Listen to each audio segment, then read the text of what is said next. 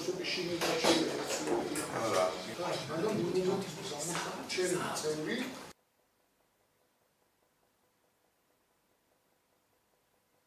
ჩემგან არანაირი წინააღმდეგობა არ ყოფილა, უბრალოდ დავსვი რამდენიმე საკითხი, რომელიც ჩემის აზრით უფრო გამართულს გახდიდა ცვლილებას და უმრავლესობის მხრიდან მიღებული და გაზიარებული იქნა, ასე რომ ეს რომ ყოფილიყო რაიმე წინააღმდეგობა, ალბათ უმრავლესობის მხრიდან ხარდაჭერილი არ იქნებოდა, ასე რომ ეს არ იყო წინააღმდეგობა, ეს იყო ჩვეულებრივი მსჯელობა ტექნიკურად და იურდულად, როგორ ყოფილიყო უფრო გამართული ისვლებები, რომელიც უმრავლესობის მხრიდან იქნა შეტანილი რეგლამენტში.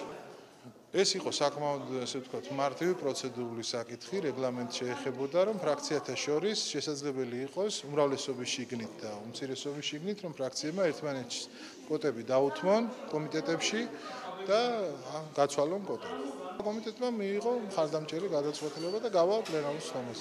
ჩვეულებრივი სამუშაოს სხდომა იყო.